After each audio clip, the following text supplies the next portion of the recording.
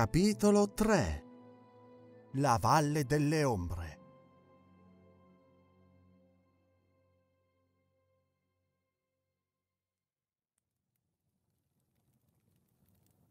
Il mattino arrivò anche troppo in fretta per i miei gusti.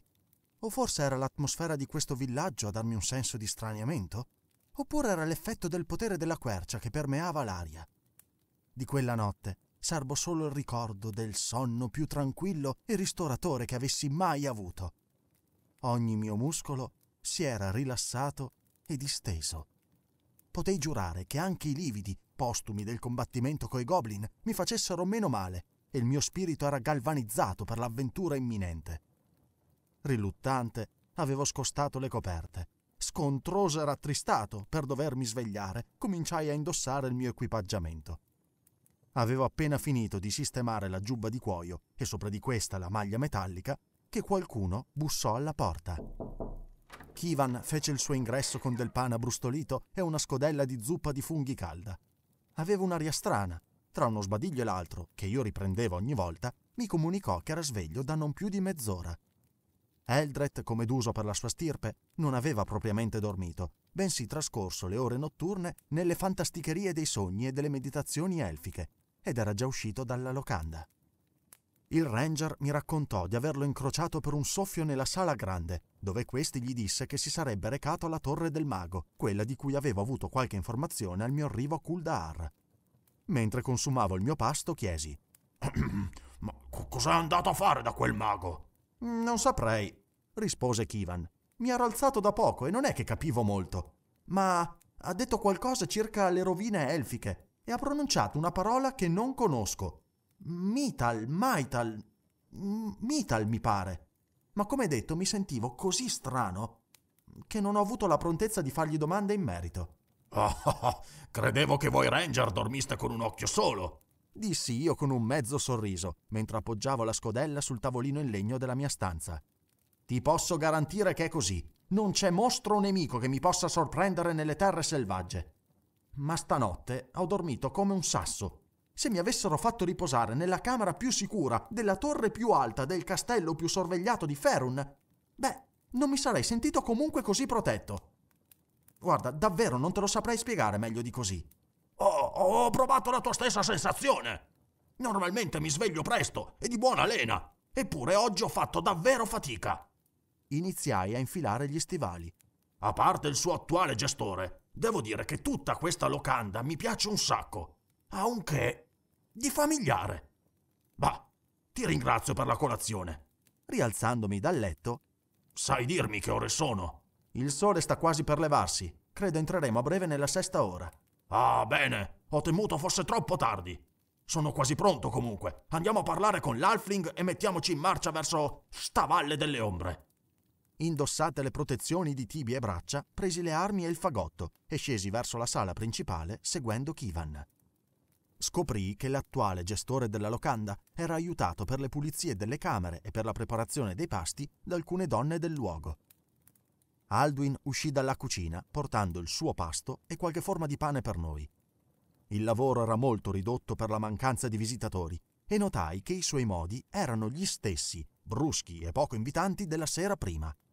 Ma lasciai stare, non volendo cominciare male la giornata. Io e Kivan pagammo al piccoletto dieci monete ciascuno, che sarebbero servite per mantenere gli alloggi per i prossimi dieci giorni.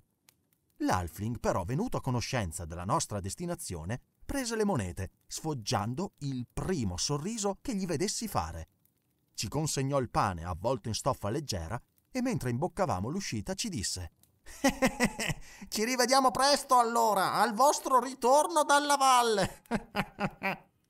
Uscendo dal portone mi rivolsi a Kivan dicendo Quel nanerottolo non mi piace per niente e se è tanto felice di vederci tornare, lo farò quand'anche solo per dargli fastidio. A quell'ora del mattino c'era poca gente in giro. I suoni e l'atmosfera erano però le stesse. Il sole stava sorgendo. Tuttavia il tepore dell'aria era rimasto il medesimo della sera prima. Volgendo lo sguardo a nord, dove si vedeva in lontananza la residenza del mago, scorgemmo Eldred sulla via del ritorno. Era la prima volta che lo vedevo con indosso l'armatura e le protezioni e mi fu chiaro il perché mi avesse risposto quasi con commiserazione circa il mio equipaggiamento. Indossavo una cotta di maglia di pregiatissima realizzazione. A malincuore dovetti ammettere che anche gli elfi avevano talento in metallurgia. Alla cintura portava due spade lunghe in foderi di cuoio marrone chiaro, mentre la sua figura era avvolta in un mantello di tessuto verde, il cui ricamo lo faceva sembrare costituito da molte foglie intrecciate. Ai piedi portava stivali di cuoio foderato di pelliccia bruna, con delle sfumature verdi, che mai avevo visto prima. Infine, sopra la maglia, un giustacuore in metallo, recante l'incisione di una stella a otto punte, le cui estremità, superiore e inferiore, erano più lunghe delle altre. Con un sorriso, gli occhi splendenti, ci raggiunse e cominciò. Buongiorno, miei nuovi amici. Vi siete goduti il riposo del tronco? Il che cosa? chiese Kivan. non ho voluto rovinarvi la sorpresa. Da queste parti è così che chiamano il primo sonno al riposo della quercia. Quest'albero fu benedetto dal dio della natura Silvanus e agli occhi dei profani il suo potere è solo il calore che sprigiona nell'ambiente circostante. Ma vedete, i suoi benefici agiscono in maniera molto più sottile e riposando lo avete provato voi stessi. È questo il segreto dell'equilibrio che i druidi di Kuldar tengono a proteggere. Tutto è in pace e in armonia qui. E il vostro corpo e le vostre menti lo hanno avvertito non appena avete chiuso gli occhi. Vi ho lasciato riposare e ho approfittato di questo tempo per far visita al mago Orric e avere qualche consiglio. Orric, quindi, è il nome del mago? Che ci puoi dire di lui, Eldred? Chiesi curioso. Sì, si chiama Orric. È un brav'uomo e un erudito. Studia la magia elfica e da anni sta cercando l'ubicazione delle rovine della mano dei Seldarin, un'antica fortezza della mia gente che giace in qualche valle tra questi monti. Tali rovine sono le medesime che sto cercando io. La mano cadde vittima di un esercito di orchi secoli addietro. E, a quanto si dice, non furono solo le orde dei nemici a far capitolare la fortezza, ma pure il tradimento e una faida con un enclave di nani che erano stati loro alleati. Vedendo il mio sguardo accigliato, Eldred aggiunse: Non ho alcun pregiudizio verso la tua stirpe, Excel. Ti racconto solo quello che ho saputo. E comunque, anche se non fosse stato per questa lotta tra le nostre razze, credo che il numero di orchi che assediarono la mano fosse sufficiente per la sua disfatta. Quello però che ossessiona e interessa Orric, continuò Eldred, è che fu lì che venne lanciato uno degli ultimi Mital di cui si abbia notizia. Anticipandomi, Kivan chiese: Hai pronunciato questo nome anche mentre stavi uscendo. Di cosa si tratta? Il Mital è una complicata magia protettiva, il più importante esempio del nostro potere arcano. Non so darvi molti altri dettagli, non ho studiato le arti magiche. Ma Orric, in cambio della promessa di portargli informazioni e libri di conoscenza in cui mi dovessi imbattere, mi ha fatto un buon prezzo su qualche pergamena di protezione e su questo. L'elfo ci mostrò quello che sembrava un normalissimo borsello in velluto nero. Lo presi tra le mani, non vedendo niente di insolito. Ottimo tessuto, rune rosse ricamate sul bordo superiore, ma nient'altro degno di nota. Riprendendolo nelle sue mani, l'elfo allentò il nastro rosso che lo teneva chiuso. Quindi, sorridendo e fissandomi negli occhi, infilò tutto il braccio all'interno dell'apertura del borsello. Il suo arto vi entrò fino alla spalla, senza che la stoffa si deformasse o il braccio sbucasse dall'altra parte. Kivan, dicevi che sei braccia sono meglio di quattro, ma con questo potremmo portare via ancora più tesori senza sentirne il peso, disse l'elfo ridendo. Per gli dei, una sacca extradimensionale. Questo genere di contenitori non è per nulla buon mercato, esclamò il ranger. O sei incredibilmente ricco, o il prezzo era dannatamente buono. Deve tenerci davvero quelle rovine. Purtroppo, sebbene la mia famiglia sia tra le più importanti della nostra comunità, non sono ricco. E comunque aver preso la decisione di partire per l'avventura non mi ha aiutato a ottenere i fondi dai miei parenti. Ma in risposta alla tua domanda, sì, il prezzo era oscenamente allettante e se dovessimo imbatterci in qualcosa di suo interesse, faremmo bene a farglielo avere. Ho sentito parlare di questi contenitori senza fondo, risposi. E anch'io sapevo che costano quanto tutti i tesori che potrebbero contenere. Buon per noi allora che il mago abbia questo smisurato interesse. Fissando l'elfo, aggiunsi. Beh, Eldred, A questo punto pare che sia tu che io abbiamo diversi doveri verso questa città. La promessa che ho fatto al fabbro lega me e la riconoscenza del mago lega te. Tu, Kivan, sei il solo che rimanga libero da vincoli. è vero, ed è come piace a me, libero e spensierato. Ma in realtà il dovere che ho verso Mielicchi mi impone di sradicare le forze del male che si annidano tra queste montagne. Dunque, ragazzi, se non avete altri programmi, direi che possiamo incamminarci verso la valle. Dopo una breve sosta all'emporio di Gert, dove acquistammo viveri a sufficienza, ci dirigemmo verso i confini della comunità dei druidi. Il passo segnato da Rundel sulla mappa volgeva verso est e così il sole sorgente cominciò a illuminare i nostri passi. Ma più ci si allontanava da Kuldahar, più la temperatura si abbassava, il vento prendeva a salire di intensità e insieme a questo anche la neve. I crinali dei monti cominciarono a serrarsi ai nostri lati il cammino divenne un lento sgusciare tra due pareti di roccia, distanti tra loro non più di qualche metro. Ebbi la bizzarra idea che qualche divinità annoiata avesse scavato un solco nella viva roccia per un suo capriccio. I colori intorno a noi diventarono alquanto monotoni. Bianco, grigio e nero ci circondavano. Il verde, anche solo quello sporco di qualche muschio lichene, era del tutto assente. Non parlammo molto. Il vento, anche se non assordante, echeggiava con un muggito sordo alle nostre orecchie. Tenemmo i cappucci ben calati sopra le nostre teste e procedemmo uno dietro l'altro, malgrado lo spazio a disposizione non ce lo imponesse. Kivan era in testa e teneva sotto controllo la strada di fronte a sé, pronto ad avvisarci di pericoli o ospiti indesiderati. Io lo seguivo a ruota, tallonando il suo mantello marrone che ondeggiava ad ogni passo. Eldred chiudeva la fila, niente affatto preoccupato di scivolare o impedito in qualche modo dal manto nevoso. Procedemmo quindi spediti finché il muggito costante degli elementi cambiò, portando alla nostra attenzione rumori inattesi, ruggiti e versi ostili di qualche creatura. Kivan si fermò, facendoci segno di guardare in avanti. Un oscuro puntolino si delineò in lontananza e dentro poco la sua figura si fece più dettagliata, rivelando un giovane uomo che sembrava correre disperato nella nostra direzione. Accelerammo l'andatura, mentre sbucavamo in uno spiazzo che si apriva al di fuori del sentiero tra le rocce. Tutti e tre mettemmo mano alle armi. Kivan imbracciò l'arco e incoccò una freccia, mentre io con lo scudo alzato raggiungevo l'uomo. Egli si piegò ansante tra me ed Eldret, Notai che il suo viso aveva un pallore spettrale, nonostante la fatica della corsa. Senza riprendere fiato urlò.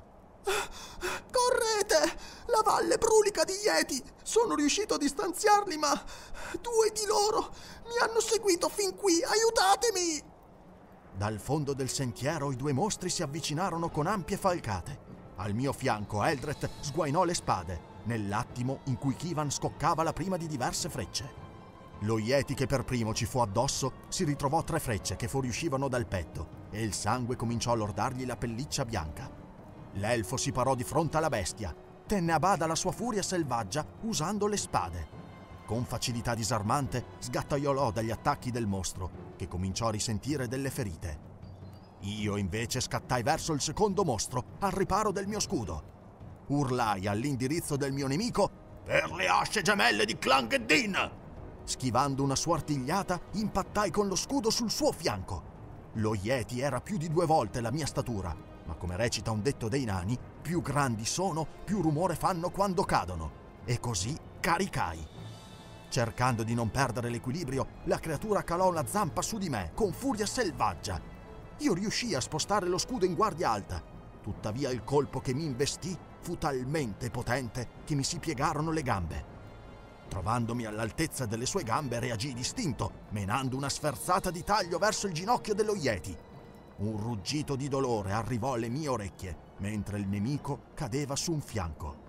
Il filo nero dell'ascia aveva reciso sia i tendini che rotto buona parte dell'osso.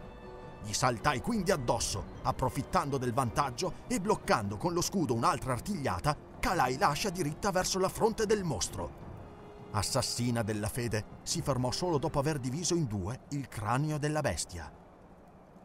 La battaglia era durata non più di qualche minuto. Ebbi il mio d'affare per liberare l'ascia. Eldred, poco lontano, puliva le lame sulla folta pelliccia del primo Yeti ucciso. Lo sconosciuto, che si era riparato dietro Kivan, si avvicinò timidamente, come temendo che i mostri si rialzassero all'improvviso. Con affanno ci disse: Grazie, credevo fosse giunta la mia ora. Diavoli degli inferi, non metterò mai più piede in quella valle. Ogni tumulo era infestato di non morti e lungo i sentieri erano in agguato questi ieti. Vuoi dirmi che sei arrivato di corsa fin qui dalla valle? Sì, anche se non sono uno sportivo. La valle non è molto distante. All'inizio ho cercato di depistarli nascondendomi fra le rocce, ma mi trovavano sempre. Ho cercato di confonderli con qualche incantesimo di illusione, però sono un novizio presso la torre dell'arcano di Luscan e non li ho potuti ingannare a lungo. E come mai un novizio si è avventurato in quella valle da solo? Sei pazzo o sei stupido? Aggiunsi. Non ero da solo, ero al seguito della mia insegnante Selene Vento Azzurro, maestra di illusione e negromanzia della guglia nord della torre dell'arcano. Abbiamo usato un sortilegio di teletrasporto per arrivare all'interno del tumulo principale, dove è sepolto Cresselak, il lupo nero. Ci eravamo recati laggiù per esplorare la tomba e cercare un oggetto che la mia maestra bramava. Ma siamo rimasti tagliati fuori a causa di gruppi di non morti che brulicavano ovunque lungo i tunnel. Quando l'ho vista sparire nelle profondità della cripta inferiore, tallonata da quelle creature, ho sentito il suo grido con cui mi intimava di scappare e salvarmi la vita. Credi che sia ancora viva? Chiese Kivan con interesse. Io. Io non vedo come possa aver affrontato quegli esseri ed essersela cavata, sospirò il giovane in tono infelice. Io non sottovaluterei la tua insegnante. È testarda e piena di risorse, aggiunse il ranger con furberia, estraendo le frecce dal corpo dello Yeti. Rivolto a me, continuò dicendo: Beh, Axel, ora tutti e tre abbiamo motivo personale per proseguire le ricerche. Io conosco Selene lei è una vecchia amica, diciamo. Se davvero non è lontana la valle, vi chiedo di procedere in fretta. Come ti chiami, novizio? Celtic, signore. Bene, Celtic. Arrivato Kuldar, chiedi all'arcidruido Arundel di trovarti un alloggio. Avevamo i nostri motivi per recarci nella valle, ed ora, se i miei compagni sono d'accordo, tenteremo di aiutare anche la tua insegnante, se fosse ancora in vita. Se non dovessimo tornare quando l'inverno sarà passato, potrei andare ad avvisare il Consiglio dell'Arcano circa il destino di una delle sue maestre. Rassicurato che la strada verso Kuldahar era sgombra di pericoli, il novizio riprese il cammino verso il villaggio. Kivan si rimise l'arco a tracolla e partì spedito lungo il sentiero. La sua fretta fu da me ed Eldred condivisa, benché non avessimo avuto opportunità di saperne di più.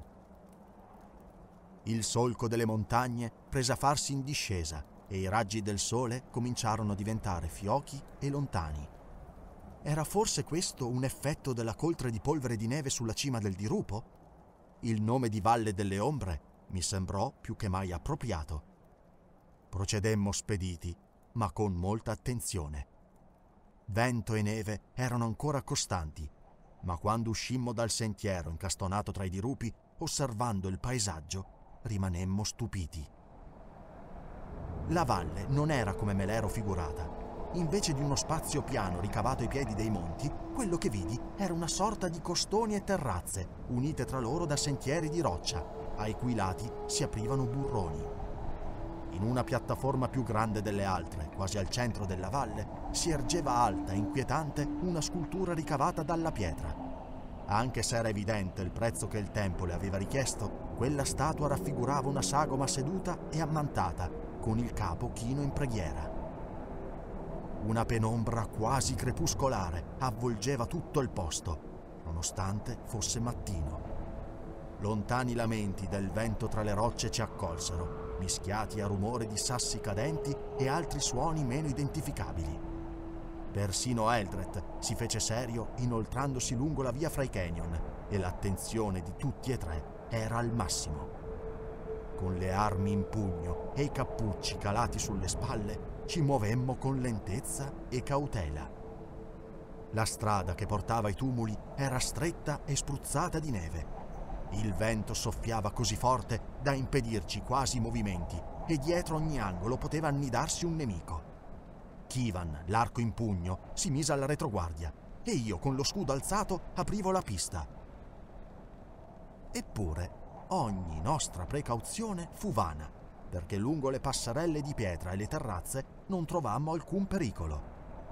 Era come se tutto il posto fosse desolato e spoglio.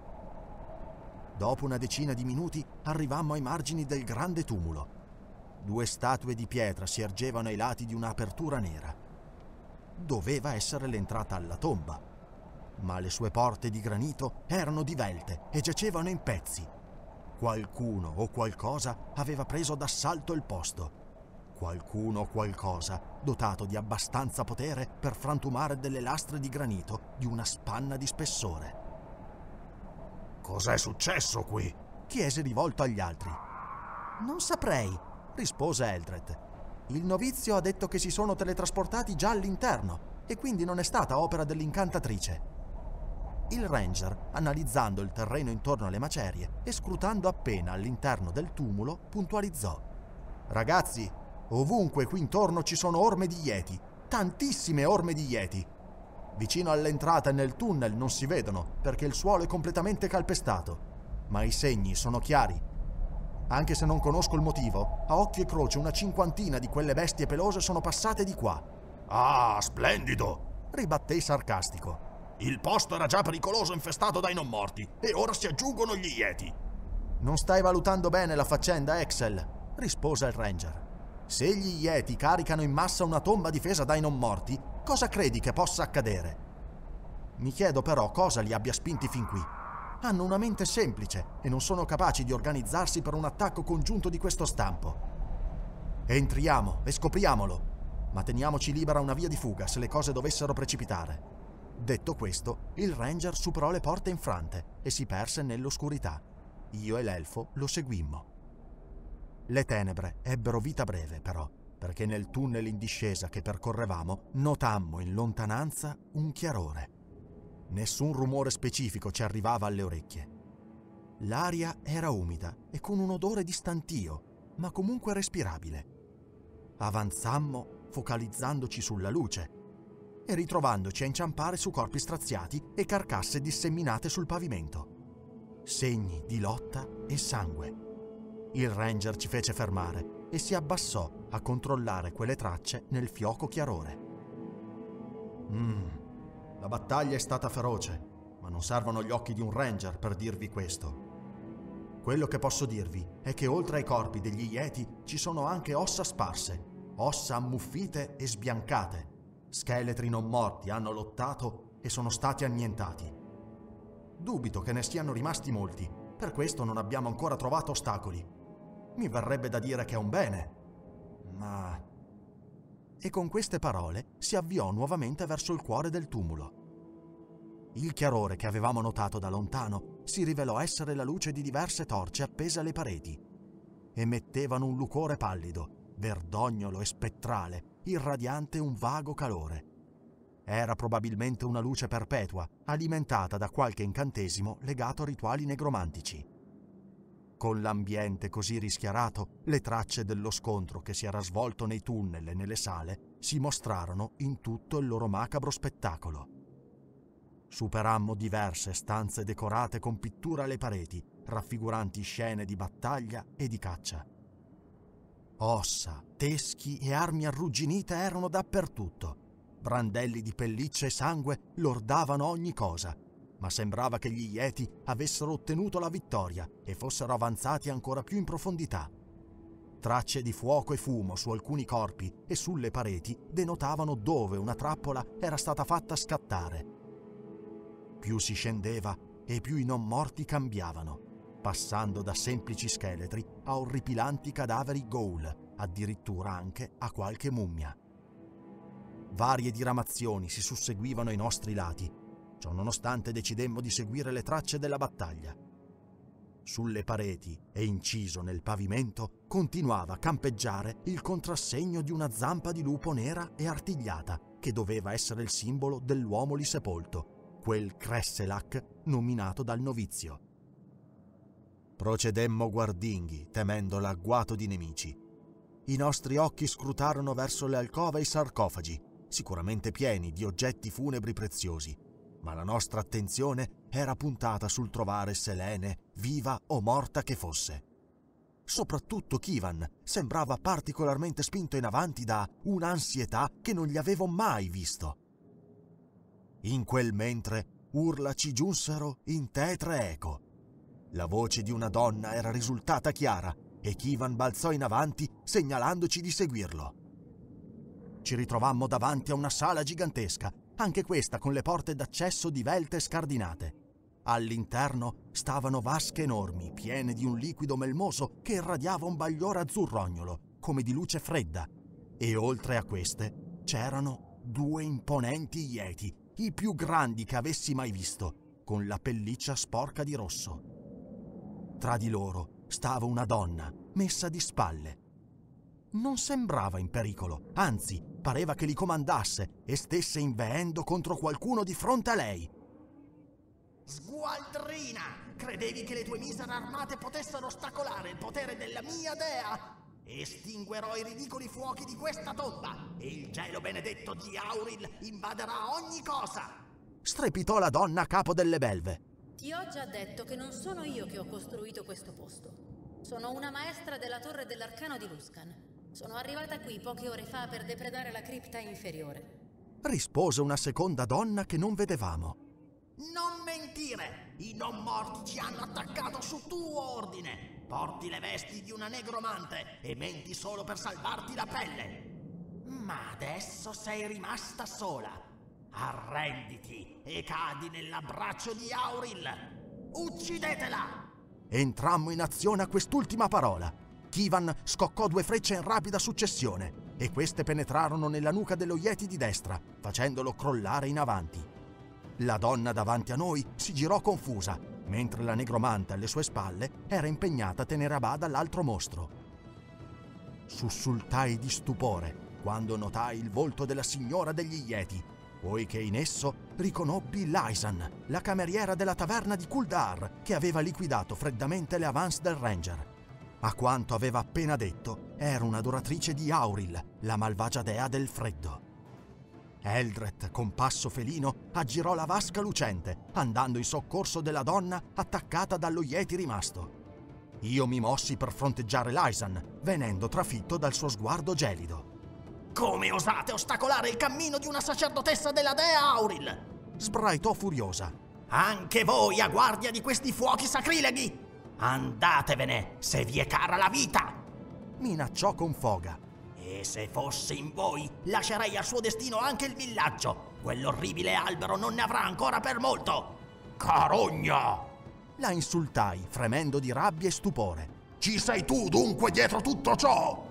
Vorrei poterti dire di sì, nano, ma sto solo sfruttando a mio vantaggio una favorevole situazione. E dal momento che non avete intenzione di lasciarmi terminare, morirete! Appena finita la frase, la sacerdotessa cominciò a recitare una formula arcana, proprio mentre Kivan ed Eldred, in soccorso della negromante, combattevano contro l'ultimo Yeti. Alla conclusione della litania, l'aria cominciò a farsi più fredda, addensandosi in una nuvola bianca davanti a lei. La nebbia prese a congelarsi e a delinearsi in una figura umanoide. Il ghiaccio si spessì e cristallizzò, dando vita a un elementale del ghiaccio che si diresse verso i miei due compagni e la maga. Io, barricato dietro allo scudo, avanzai di corsa all'indirizzo di Lysan. Speravo di spezzare la sua concentrazione per non permetterle di lanciare un altro incantesimo, ma non fui abbastanza veloce. Attivando un qualche tipo di magia di contingenza, la pelle della sacerdotessa diventò di pietra e un muro di ghiaccio alto un metro la circondò, mentre decine di dardi di ghiaccio presero a volteggiarle attorno. Ero troppo ormai lanciato per fermarmi. Così ben piazzato dietro lo scudo, balzai per superare il muro di ghiaccio. Ma Lysan mi scagliò addosso tutti i dardi, che cominciarono a investirmi insieme con una ventata gelida. Eppure il freddo e i dardi scomparvero prima di colpirmi in pieno. Il muro si sgretolò e la mia ascia, che ero sicuro potesse solo graffiare la pelle di pietra della sacerdotessa, le affondò nel petto. I suoi occhi si sgranarono per la sorpresa e così rimasero, mentre la loro luce si spegneva. Mi ritrovai sbilanciato perché non mi aspettavo quell'esito e caddi sul corpo della sacerdotessa.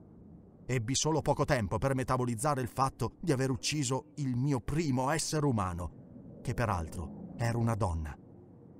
Riuscii a udire oltre a me un rumore di cristalli infranti, segno che l'elementale non era più tenuto insieme dal potere dell'invocatrice. Eldred si avvicinò, mi aiutò a rialzarmi e disse: Complimenti, giovane nano! Ma che cosa hai fatto? Che Moradin mi baci le natiche se lo so! Credevo di essere nei guai e poi. puff! Rimossi l'ascia e la liberai dal corpo di Lysan. Il filo nero della lama era inalterato, ma il resto del metallo ora era avvolto da un'aura azzurra. Aspetta! Assassina della fede, questo è il suo nome! Conlan mi disse del suo potere di disperdere le magie divine. E guardai l'arma che lentamente perdeva il bagliore azzurro. Osservando ancora il volto della ex cameriera di Kuldar, fu sorpreso di non sentire rimorso o sensi di colpa. Mi aveva attaccato e avrebbe ucciso tutti quanti nel villaggio. Serviva una dea malvagia e non avrei potuto far altro che difendermi. Tuttavia, mi chinai lo stesso per chiuderle le palpebre e rialzandomi, mi girai verso Kivan e la maga sconosciuta, squadrandola con curiosità. Doveva avere grosso modo la stessa età del Ranger, anche se non ho mai saputo giudicare l'invecchiamento negli umani. I suoi capelli castano chiaro erano arruffati per la lotta, ma le sue vesti erano intatte, a parte il leggero mantello che recava i segni di artigliate su tutta la sua lunghezza. Ci guardava come per soppesarci e senza timore. Dopo un minuto di silenzio, prese parola e disse: Immagino di dovervi ringraziare. La giornata non è andata bene come avevo programmato, ma quantomeno sono salva. Tutto procedeva bene finché non è arrivata quella pazza con le sue orde di Yeti. Prendendo a sua volta parola, Kivan proclamò: Eldret, Excel, vi presento Selene Vento Azzurro. A quanto pare l'agitazione della battaglia le ha fatto scordare le buone maniere. Non ho scordato un bel niente. Ma se non mi dite perché siete qui, e alla svelta, dovrò ritenere anche voi tre come nemici. Signora, la rabbonì Eldred. Abbiamo avuto solo qualche accenno sulle tue motivazioni da Celtic. Noi siamo qui su incarico dell'arcidruido Arundel di Kuldar. La nostra missione è di scoprire l'origine del male che sembra aver colpito la regione. Ma mi pare di intuire che tu già conosca Kivan. Lo conosco confermò guardandolo con aria delusa. Se avete parlato con Celtic vuol dire che è ancora vivo ed è un bene. Non voglio tediarvi esponendovi i miei scopi, ma sono qui principalmente in cerca del medaglione di Cresselak, il lupo nero. Questa è la tomba di un grande condottiero barbaro vissuto secoli fa. Conquistò fama e gloria come uno dei guerrieri più feroci e potenti del nord. Era protetto da un'armatura nera come la notte e al suo collo portava sempre un medaglione a forma di zampa di lupo. Sto cercando quel medaglione. Se desiderate entrare nella sala del sarcofago, posso unirmi a voi per ora. Ma sappiate che quel medaglione è mio. Selene, noi siamo qui per un motivo più nobile, se mi è concesso dirlo. L'apostrofò Kivan con aria di importanza. Non nascondo che se troveremo altri bottini incustoditi ne approfitteremo. Ma se vuoi tanto quel medaglione, va bene è tuo. Credo che anche i miei compagni siano d'accordo. Annuimmo seriamente. Va bene, Kivan. Vedo che ti sei dedicato completamente alla tua dea della foresta Mielicchi. Abbiamo un accordo allora. Negli ultimi anni ho depredato i tumuli minori della valle e sono entrata in possesso delle chiavi per aprire la cripta funeraria. Direi che l'avermi incontrata è stato un colpo di fortuna per voi. Vogliamo procedere? Un attimo! disse interrompendo la maga. Non mi tornano un po' di cose qui. Perché sei venuta in questo posto accompagnata da un novizio, se sapevi già a cosa andavi incontro? Celtic ti ha vista in balia di decine di nemici. Come hai fatto a sopravvivere? E perché la sacerdotessa disse che tu le hai mandato contro i morti? Come ho detto, ho i miei motivi per quello che ho fatto. Posso dirvi però che era nei miei progetti che Celtic si salvasse. Inoltre sono una negromante e anche se gli incantesimi di questo posto legano i morti a proteggere la tomba del loro defunto capitano, il mio potere era sufficiente a tenerli lontani da me. Quando quella strega mi ha sorpreso alle spalle con le sue bestie, ho ordinato agli scheletri e ai ghoul di attaccare gli intrusi, ma erano troppi e hanno distrutto i difensori di questa tomba. Siete arrivati quando stavo per liberarmi di lei. La modestia non ti fa difetto, Selene, come sempre. Diciamo che le cose si sono risolte bene. Punto. Decretò il ranger. Pensala come vuoi. Rispose la donna. Come stavo dicendo, i meccanismi che aprono la porta che sigilla la stanza del sarcofago di Cresselak necessita di tre chiavi che sono in mio possesso. Direi che merito il diritto di scegliere una parte dei tesori su cui metteremo le mani. Mmm, mi sembra giusto. Approvai. Prima vediamo però di metterci le mani sopra. La maga si avvicinò a un gigantesco mosaico sul pavimento di fronte alla porta della cripta interna. Il soggetto era il medesimo di cui era cosparso tutto il tumulo, una zampa di lupo. Inserì ogni chiave in una serratura che si celava in tre degli artigli del mosaico e dopo averle girate tutte, un rumore metallico giunse dal portone di fronte a noi. Quello che si cela dietro questo portale mi è sconosciuto. Ho cercato in tutti i modi di scoprire cosa vi fosse, ma potenti magie impediscono la chiaroveggenza e ogni tipo di divinazione. Questo è il mio consiglio. Preparatevi a combattere. Avvertì Selene. Alzai lo scudo e invitai gli altri a stare allerta dietro di me. Kivan era pronto con l'arco ed Eldred era pronto a scattare con una posa da felino. La maga schioccò le dita e uno scudo di energia le si parò davanti. Avanzammo compatti. Tenevo l'ascia in guardia bassa pronta a colpire e con un piede spinsi con forza verso l'interno le porte di granito.